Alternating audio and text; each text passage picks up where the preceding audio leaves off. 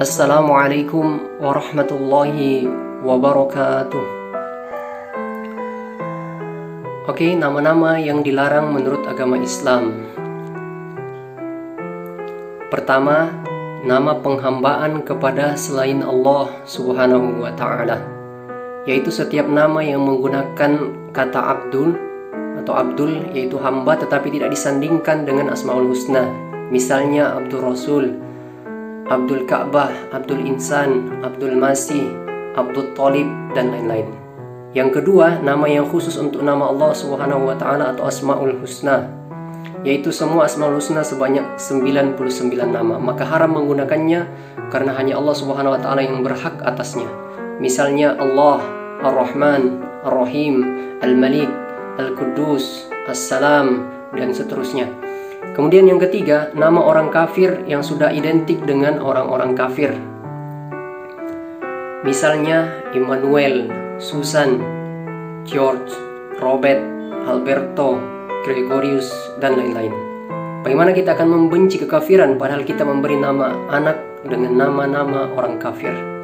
Keempat, nama-nama berhala yang disembah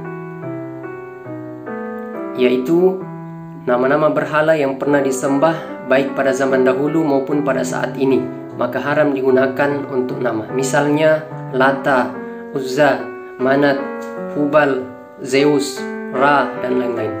Kelima nama yang tidak menunjukkan yang diberi nama yaitu nama yang tidak layak dimiliki oleh seseorang atau nama yang mengandung penyucian diri dan juga mengandung kedustaan maka semua itu haram digunakan misalnya Malikul Amlak Hakimul Hakim, Sayyidun Nas, kemudian Sayyid Waladi Adam. Semua adalah khusus untuk sesuatu yang berhak. Kemudian yang keenam, nama atau sebutan untuk setan. Misalnya Khinzab, Walhan, A'war, Ajda, Khubut, Khobait, dan lain-lain.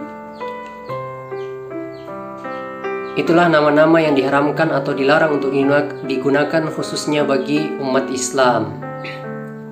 Jika ada di antara kaum muslimin yang terlanjur sudah memberi nama anak atau keluarga dengan nama-nama yang dilarang tersebut, maka segeralah untuk mengganti namanya dengan nama yang dibolehkan atau yang lebih baik agar mendapatkan kebaikan sebagaimana sabda Rasulullah sallallahu alaihi wasallam dari Aisyah dia berkata bahwa Rasulullah biasa mengganti atau merubah nama yang jelek hadis riwayat Tirmizi Rasulullah juga bersabda, sesungguhnya kalian akan dipanggil pada hari kiamat dengan nama kalian dan nama bapak kalian, maka baguskanlah nama-nama kalian. Hadis riwayat Abu Daud dan Baihaqi.